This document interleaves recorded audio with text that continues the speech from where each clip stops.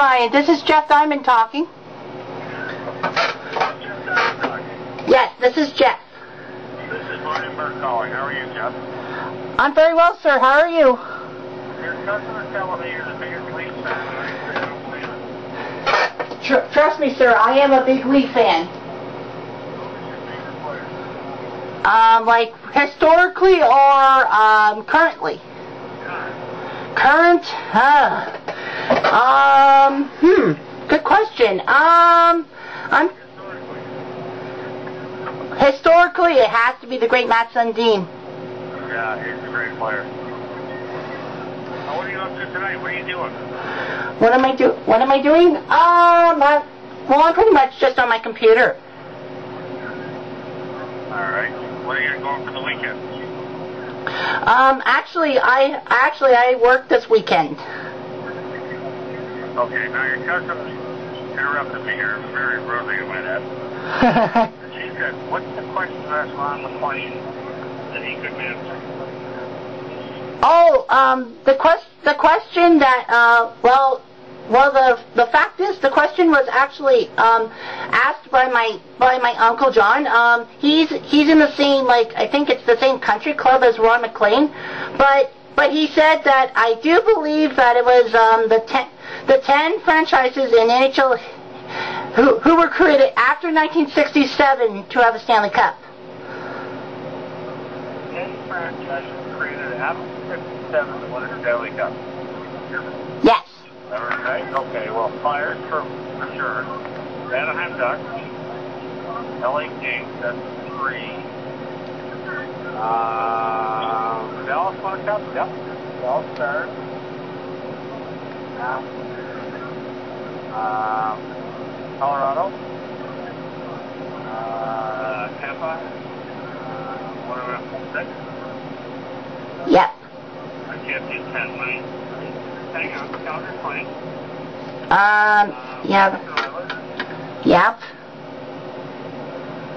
Uh, Winnipeg number one, Vancouver number one, LA, Anaheim, I think that's number number one, uh, Denver, uh, I don't know, uh, Chicago, whatever it is, that doesn't count. National number one, Dallas one, I got that.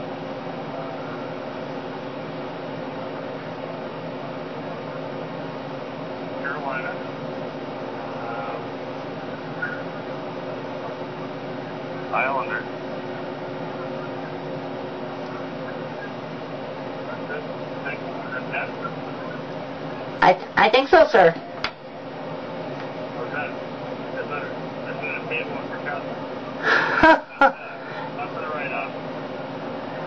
Man, man, I can't believe he got it.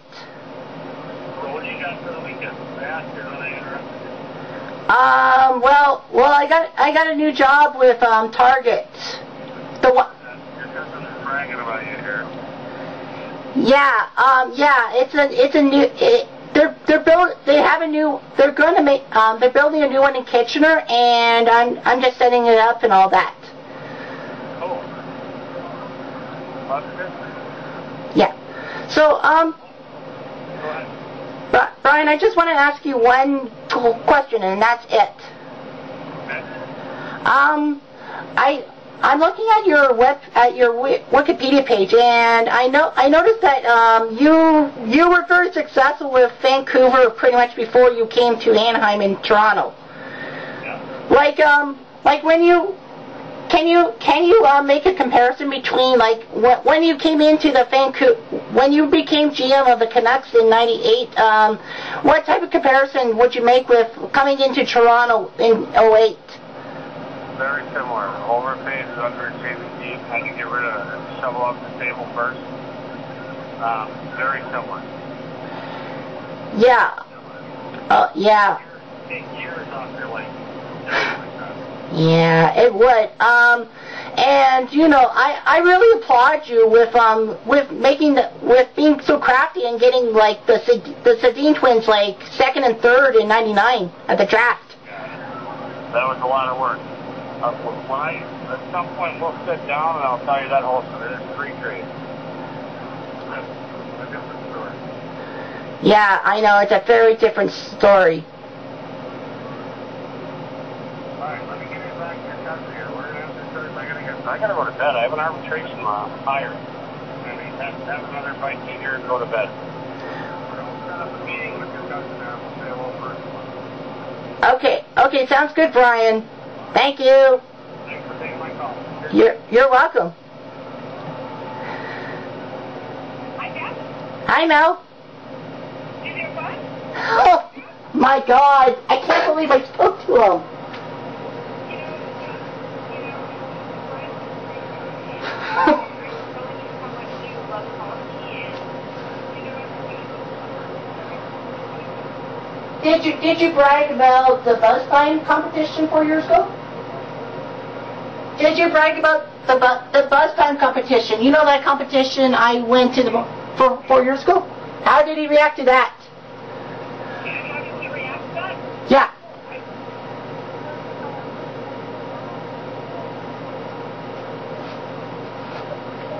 I, I, you asked if you wanted to watch it. You know, it's like you know your shit. I know.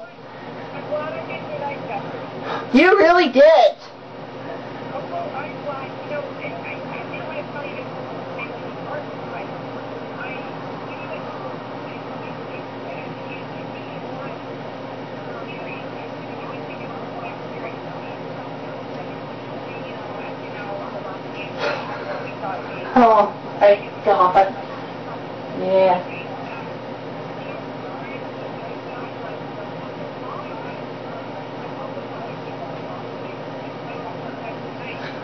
That's why I set up what I did. I'm glad you, I'm glad you had a good conversation with him. I'm glad I reminded you. I probably might not have happened.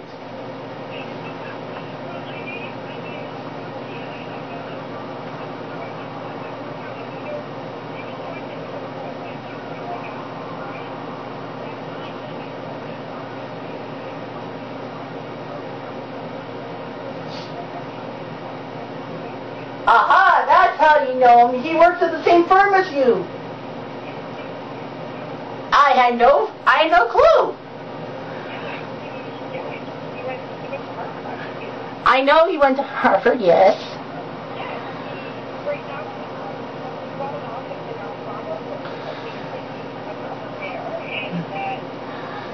Yeah.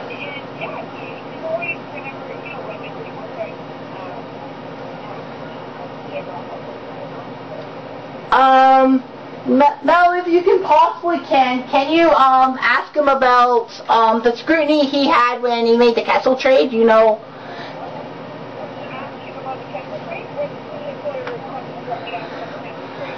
um, well, well, I'm looking at the Wikipedia page right now, and um, they said they said in the criticism that um, he was criticized for trading two first round picks to Boston for Kessel.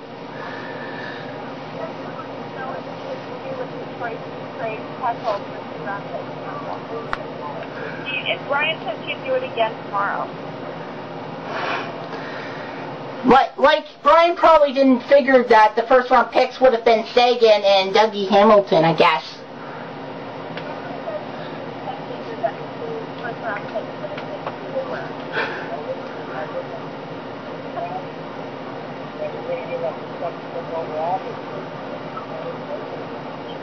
Just one second. Okay. Okay, so we never thought we'd give up the second pick overall. But if we had kept that pick, we would not have taken Tyler Seguin. We would have taken Gudbranson or Fowler. Like, no, our, our guys didn't have Seguin in the top six.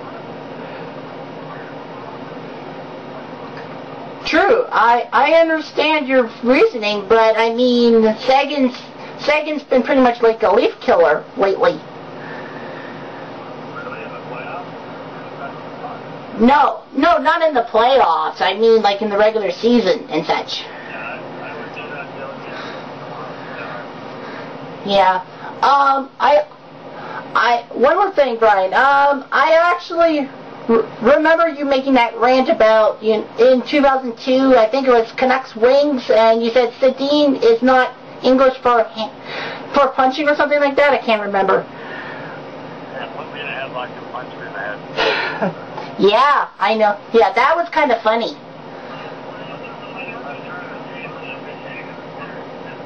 Yeah, I know, I know, and that that was disheart. That must have been disheartening for you because um, you had that two nothing lead, and the Red Wings were so favored, and then you, and then you, and then Cloutier gave up that goal. So.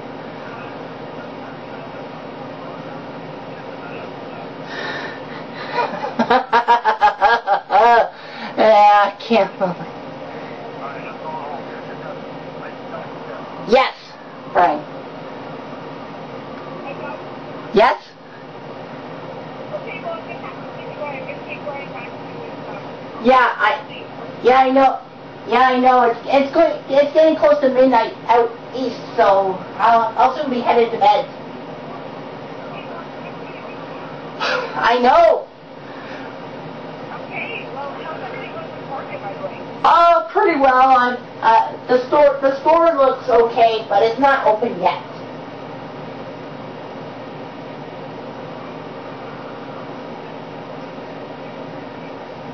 Yeah, I hope so too. Sure, bye. I cannot believe it! I spoke with the great Brian Burke. I hope you heard the conversation. It would be the worst feeling in the world that didn't happen, but I know. I hope you enjoy it. Okay,